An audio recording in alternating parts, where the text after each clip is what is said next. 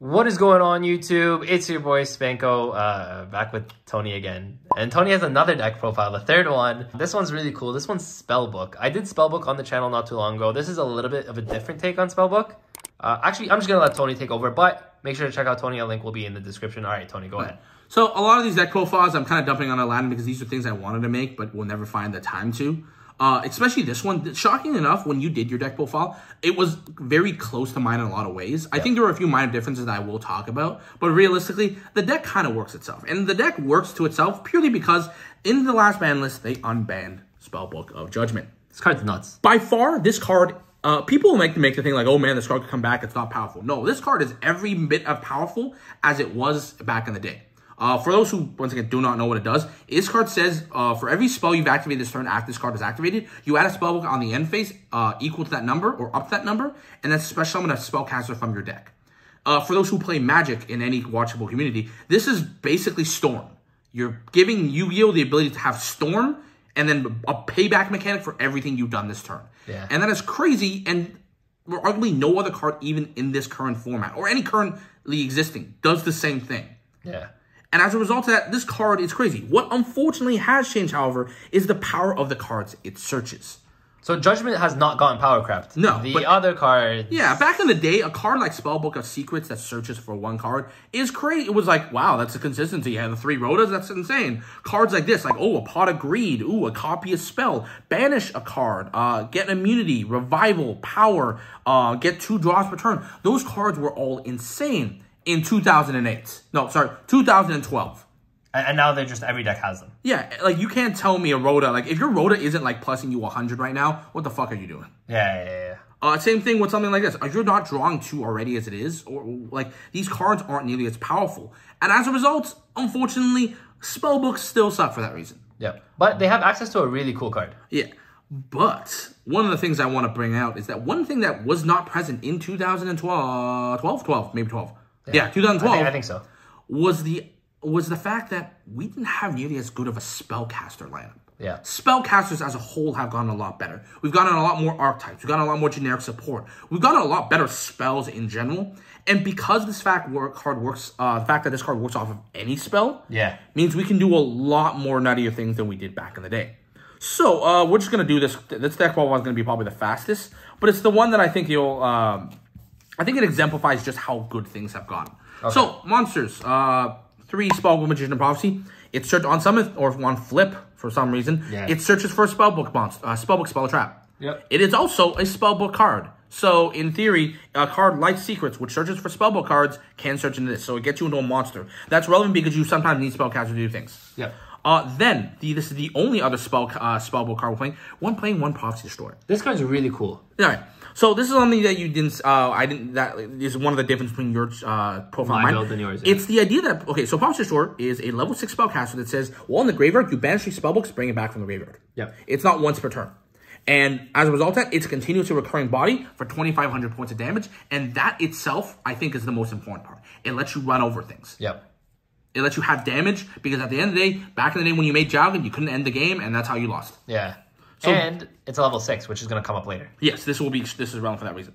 And of course, we're playing the one Jowgen. You don't want to play more than one Jowgen because now that we have actual extenders in form of spellcasters, this also turns your board off. However, this is the only anti uh, special summon card that also deals with existing threats because you can discard a card to nuke the field of special summon monsters. Yep. And we have ways of actually turning this off and then bringing it back online. Then, as you all probably know, we have a uh, Dogmatika line. We have three, um, have three Ecclesia, one Fleur de Lis. The Ecclesia searches for pretty much Dogmatic cards, specifically your Dogmatika Punishment. This is one of the benefits that the deck had before. Back in the day, you backed up a Jowgen with uh, Spellbook of Fate, and that was your removal. Now, if we can't get into the Spellbook of Fate, we have Punishment to do the same thing. Fantastic for that reason. We're playing the one de Lis, not necessarily for two reasons. Uh, for first reason, it's a 2500 beater. Again, this finishes the game faster. It's just something that you can do to end the game. Uh, two, however, it's also a free special summon. Sometimes you need two spellcasters to really get into some of your plays. Yep. And this is just one that you could drop that also doesn't necessarily lock you into the extra deck, uh, like Ecclesia would. They're just more bodies. I think the deck, what it was missing for so long was just bodies, but now you have them. And then from there, we have three. Uh, we have the spell, uh, the Magician Soul package you saw it before. This is the one um, Illusion of Chaos, and the three Magician Soul. Magician Soul obviously can send things like Ecclesia, uh, Fleur de Lis, as well as Illusion of Chaos. But, and this is where the synergy comes in, you can also send Prophecy Destroyer. That's really cool. That's a really cool interaction. And just by that alone, it gives you two free bodies, but it turns all your spellbooks that you most likely will burn after the first two turns into just free bodies, and then that lets you make things like Access Code to end the game. Yeah. Simple as that. And also, uh, this is something I want to point out. Uh, people uh, don't sleep on this. The draw two really fix your hand. A lot of your spellbooks are hard ones per turns. If you see them too much because you drew into some of them and Multiples? you did multiple, you burn them this way. It lets you turn dead spells into live ones, and that lets you keep the uh, spell train going. Yeah. Uh, going to spells. Uh, we'll going to spells. Uh, three secrets. Search for any spellbook card. Uh, simple as that. Three uh, knowledge. This says send a spellbook as an effect to draw two cards. This is very relevant. Uh, this is somewhat relevant because with a card like Spellbook and Masters, which says reveal a spellbook while you control a spellcaster, copy any spellbook card in your grave. It means if you copy knowledge, you still have to send a spellbook. Yeah. Uh, a little unfortunate there, and unfortunately, uh, by the way it works, you cannot send Masters copying knowledge Yeah. for null the copy knowledge effect because it's itself. Yeah. So unfortunately, that's what it is. But masters means that you get any second mileage out of these hard once per turn spells. We have the one power. This lets you pump up any spellcaster like in uh, higher attack. If you cop with masters, it's four thousand attack. And if it runs over a monster, you grab a spellbook for every uh, time you apply that effect. It's kind of crazy. Uh, one uh, wisdom. This card actually is more important now because with Dark Ruler and droplets around, this is your way to uh, protect your Jowgen from uh, cards that break your board. We have the one life. This card brings back any spellcaster. Uh, this is relevant because sometimes uh, knowledge can send any spellcaster as well. Uh, you can use it to send Jowgen to turn off Jowgen to make a bunch of monsters and then life it back. Yep. And that's extremely relevant. It also has some funky where you modulates levels, but never comes up.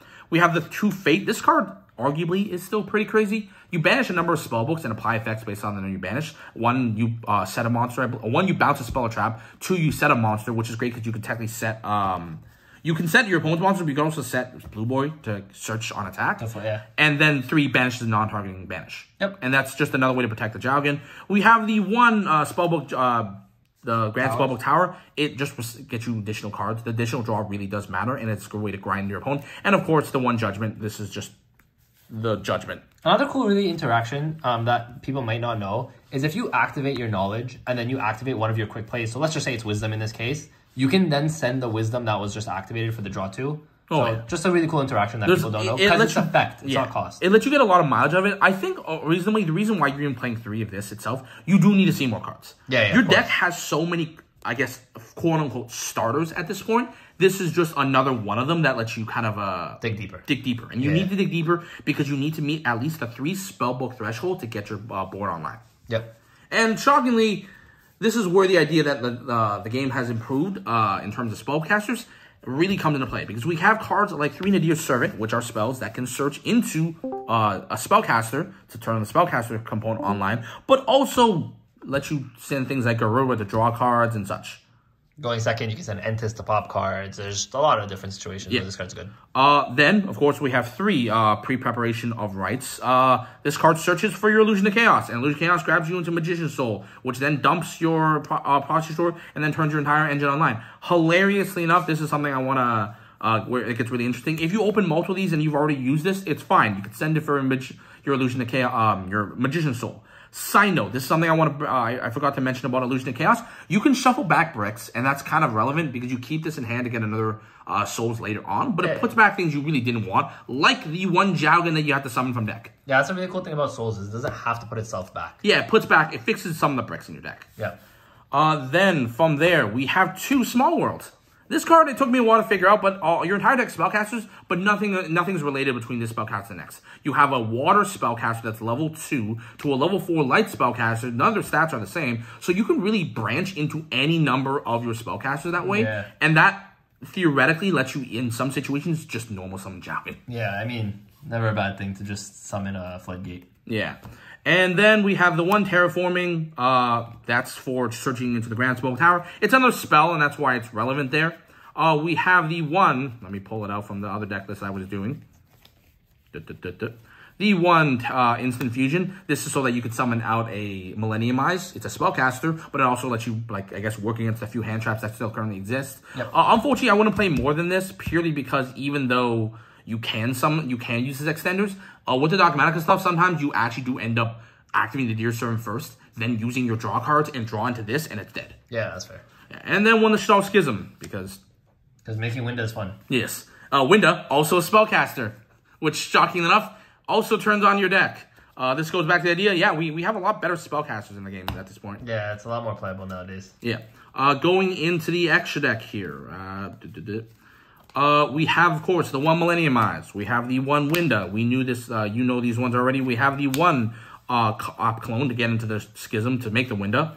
We have one Entis for the removal. We have two Titaniklad for um, we have the two Titaniklad to actually be sent off into your servant to actually search for any of our targets. Uh, side note, theoretically, one of your options in this deck is also supposed to be a Garura. Uh, let me find that Garura. It's also Garura as well.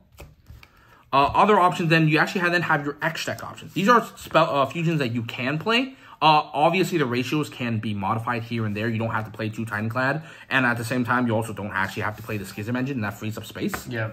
The Schism engine is really good, though. Yeah. Uh, from there, however, we then have the one uh, Tri-Brigade Ferrijit the Barren Blossom. So this, uh, in the same way that you send the Garura will draw you a card, the only difference is this bottom's a card, and that is relevant at times when you need to put back cards that need to be in the deck. Like so, Jowgen. Yeah. So in those scenarios, you use this card instead of that to dig one deeper, but also fix your bricks. Yep. Uh, the one Linkuriboh, because you turn uh, souls into that. There's your X deck monster to turn on your Ecclesia. Um, the other one in uh, Artemis, this is the other card that lets you uh, turn any of your spellcasters into a Link. Turn your blue boy into a link, right? Yeah. Yeah. Uh, this is also weirdly enough. Uh, speaking of going back to Linkuriboh though, uh, the reason why I make Linkuriboh over this at certain points, uh, sometimes I still end on the Link Rebo, and now my opponent can't even run over the Jowgen. Oh yeah, that's really relevant actually. Yeah. That's very relevant. It's like, hey, now you're protecting your Jowgen with let's say something like Wisdom, so they can't, you know, Dark Ruler, Imperm, or whatever. And then you're also ending on Linkuriboh, so, So they you can't, run attack over my battle. So I don't even need the punishment immediately. Yeah. Uh, obviously, we're like, and there was two Artemis there. Oh, two Artemis. Okay. Uh, we have the one liner. It's a spellcaster light that we can make. It also searches into our uh, Dogmatika package. Synergy, baby. Uh, this, the Crowley, this card is fantastic. On summon, you reveal three spellcast uh, spellbooks at different names. Your opponent picks one. At this point, it actually a lot of times does not matter which one you get, because at the end of the day, you just got an extra spellbook, and that gets you one extra spell activation. Yep. Uh, it also means you can normal summon spellcasters, high level spellcasters without tributing. Which at some point when I was testing the deck, I did normal summon Fleur de Lis without tributing and just That's interesting. beat my opponent without having to get rid of the Javelin Lock. Kind of useful there. Uh, the one Selene, this card is not And see- it's getting reprinted too, so don't worry, it's not expensive. yeah, so this card is the this is part of the reason I think I've been waiting. It's like I didn't want to do a profile with Selene. It's like, yeah, this card's seventy dollars. Have fun finding it. Yeah, no. Uh, one of the things you can do is obviously if you made it with uh, Millennium Eyes, you can bring back the Millennium Eyes for disruption. But more than likely, you'll just be using this to make access code to end of the game. Yep. And it's shockingly easy to go into access code from Selene, purely because with Prophecy Destroyer, on that following turn after you Jowgen lock them for that first turn, you just bring back the Destroyer and start like linking away your field, bring back the Destroyer over and over again to continuously make the link line. And once you hit this, you can do like you could either use it to then uh, bring back the Jowgen itself, or you make an access code special for the lead, and there's the AK, uh, AK worth of damage. Yeah, so this this deck, funny enough, when it gets going, it, it gets going. It has to roll a little bit, you know. You have to get this, the judgment, but once you get to the judgment, you can live one turn on the Jowgen. You can just go in. And like one of those things I want to point out, like it, this deck is not inherently reliant on judgment, but judgment makes this actually kind of worthwhile Yeah, because it gives you a way into that Jowgen. Yeah. But there have been games where I've drawn into all my pieces and just dug hard enough where it's not hard to see at least something to get you into your place. Yeah, You don't, and that's something I think like I feel like has made the deck better. Back in the day, I think for those who've played in that format, you didn't just need to open judgment. You need to open judgment and then the line. yeah, And that's shocking enough. That's part of the reason why currently when people test Dragon Ruler, they realize Spellbook was not the best matchup against Dragon Rulers who just could see anything. You needed specific things or, or slightly more specific things. And now all this new Spellcast support kind of makes it so you don't have to open you have just so line. much crazy draw power. I mean, you have souls. Yeah, you have souls, The knowledge, which is relatively new because they didn't have that. I'm pretty sure in 2012. No. You have the knowledge, which is draw. You have all these spells. Small will get you into any of the spellcasts you need to start the engine. But at the end of the day, you get into your pieces a lot better, and it doesn't necessarily have to be specific pieces. Yep. And that's what makes this deck weirdly, even arguably this format, a little good. Uh, there are games where I did not actually have to activate a monster effect, which means my opponent doesn't Ishizu me immediately. Yep. And that kind of is good because once I summon the Jowgen, it doesn't matter what Ishizu card you have. It doesn't. Yeah, it literally does not. You'd, you'd have to literally mill something to get rid of this with protection that I backed up, and that's fine because this card kind of also is just uh, it's just a butt to deal with. You can't super poly it away. You're gonna have to break board break it. But that's where wisdom and cards like that come in, and that makes this deck still somewhat viable even in this format. Granted, the problem with this deck at the end of the day is you have to go first. Yeah, it's still a rogue tier deck, guys. You have to win. You have to win the die roll, and that's Yeah. something, especially in a format where the and the worst part is if they resolve this Shizu card and mill your judgment. I guess you oh yeah, then you're stuck. yeah. So again, all these decks I've like in, the series of videos, whichever order it is you see these videos, they're kind of gonna work the same way. They're fun decks to play. Uh, if you just don't want to deal with the Shizu, because let's face it, this format. It's not that enjoyable. Let's be honest. All right, but t- Tony, thank you so much for the deck profile for all the deck profiles. There's there's one over there. I don't even know where the other ones is, but we have a lot of them here. Uh, oh, there's there they are. So we got Gaudy, we got Spellbook, and we have uh, Labyrinth, which I think you guys might be seeing this one last. So if you guys didn't check out these videos, make sure to check them out. Link will be in the description. You guys can check them out on my channel. You guys can also check them out on Tony's channel. Make I sure don't upload a lot, but I'll upload when I can. Yeah, and he does it more in depth than he does on these on this channel. So if you guys want a more in depth, more uh, I guess uh, what, what's another word for in depth? I guess Detailed. detailed. There you go. Uh, I basically said the same thing. But yeah, if you guys want a more detailed version, check it out on Tony's channel. Thank you, Tony, for being here. Make sure to like and subscribe if you guys haven't already. And with that, Spanko and Tony. Peace.